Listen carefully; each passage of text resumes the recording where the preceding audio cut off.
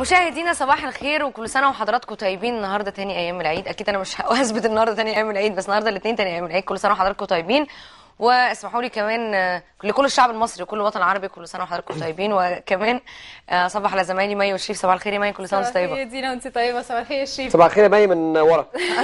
من صباح المطبخ الخير على كل اللي بيتابعونا يا رب. النهارده يكون يوم سعيد عليكم ويوم سعيد على كل المصريين على كل الأمة الإسلامية والامه العربية.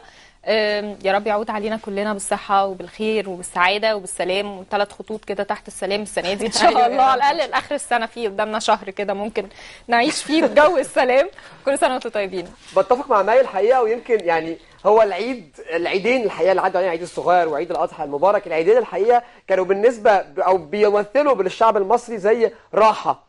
زي break كده ما بين الاحداث. المتلاحقة اللي بنعيشها تحس الناس كلها بتستنى العيد كل الناس من أكبر حد في الدولة لأص... أو في البلد لحد أصغر حد في البلد فأعتقد إن ده فعلا break وأجازة مستحقة الحقيقة إحنا بنحاول من خلال Nile Life إن إحنا نرفع عن حضراتكم كده في العيد كما إحنا بنحاول نرفع عننا كلنا آه عايزة أقول لكم آه، كتيرة نفسه. كان بيرفع عننا قبل الحلقة على طول لأنه كان إحنا شعب دمه خفيف وشعب ابن نكتة زي ما بيقولوا فما الشعب كله بما ان إحنا اتقسمنا okay وبقينا كل واحد دلوقتي ليبرالي واخواني والحاجات دي كلها فالشريف كان من وجهة نظر كل واحد من دول العيد كان عامل إزاي؟ كان نفسنا. طبعا نعرضها لكم بس آه، يعني هي- هنحاول نقول لكم في الوسط كده شوية. ممكن أحطها على فيسبوك يعني آه. ممكن احطها لكم على جروب على فيسبوك يعني ظريفة هي عامة يعني. طيب النهارده عندنا فقرات كتيرة جدا متميزه جدا. عندنا من أهم الفقرات اللي عندنا الحقيقة أنا متحمس لها شخصيا هي لأغنية أو لمطرب قدم أغنية كسرت الدنيا. أول ما نزلت قالوا كالعادة إيه بقى الهبوط ده وإيه الإسفاف ده والكلام ده كله؟ بس بعد كده ما ركزنا شوية لقينا إن هي فعلا أغنية حلوة جدا ليها معنى حلو جدا وشعبية درجة أولى. الدنيا زي المرجيحة يوم تحت وفوق. فيها ناس عايشة مرتاحة وفيها ناس مش ذوق.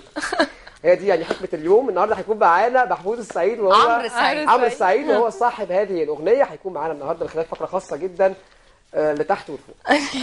غالبا غالبا خلينا- شريف اللي هيغنيها في آه لا لا؟ أنا أصل إحنا الاثنين في الفقرة وأنا كمان اللي عاجبني إن فعلا أغنية المرجيحة زي ما شف- أول ما نزلت الناس كلها كانت إيه ده إيه ده؟ بس دلوقتي ما فيش حد ما بيطلبش أغنية المرجيحة. على فكرة هي مفروضة علينا في كل حتة. أيوة. أنا بحبها جدا بس هي شغالة في مفروضة الشارع في كل حتة. أنت كل ما بتمشي في مكان لازم بيبقوا شغالينها. في بقى بمناسبة الطرب وبما إننا اتكلمنا على الأغاني في كمان فق- فقرة معانا مع ال- الموسيقار هاني شنودة فرقة المصريين. أكيد مش فرقة المصريين هو بس اللي هيكون معانا النهارده. كلنا أكيد اتعودنا على أغانيهم كلنا حبيناها. فالنهاردة هيقول لنا شوية من الأغاني ال- اللي كانت معروفة بالنسبة لنا من, من السبعينات. آه ماشيه بحبها جدا ماشيه كده وفي. آه، ما في تفتكروش يا. بنات وفي حاجات كتير قوي أيوة. اليوم.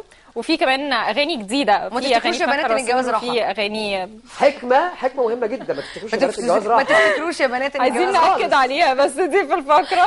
هيكون معانا فقرة النهارده. وعايزه أقول لكم كمان معانا مدربة مهارات يدوية وهي مي عصمت لأن كل كل بيت فيه طفل دايما الطفل بيبقى عايز الخروف قاعد عنده في البيت. يعني أو يبص عليه من الشباك. فاحنا النهارده معانا آه، مي عصمت. هتورينا إزاي ممكن نعمل خروف من الورق آه، عشان الأطفال يبقوا يعني عشان الخروف ما يخشش البيت يعني. فعشان كده هتكون معانا مي عصمت فخليكم معانا كمان عشان دي فقرة مميزة جدا. طيب حلقة خاصة جدا من Nile Life بمناسبة عيد الأضحى المبارك. على مدى حلقات العيد هنكون معاكم لمدة ساعتين. نهاركم وصباحكم زي الفل. نروح لفاصل.